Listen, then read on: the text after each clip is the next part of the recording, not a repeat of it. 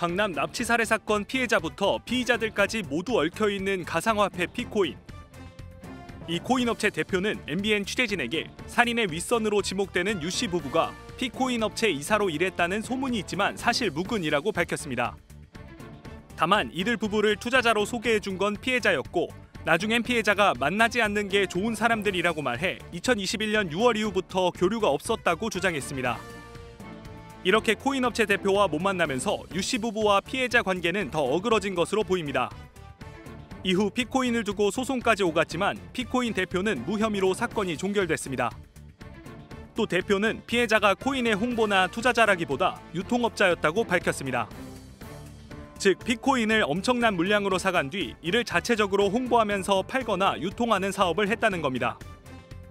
이런 사업을 하면서 유씨 부부와 30억 원 가량 투자금을 모은 것으로 보이고 여기서 금전 문제가 생긴 것으로 경찰은 보고 있습니다.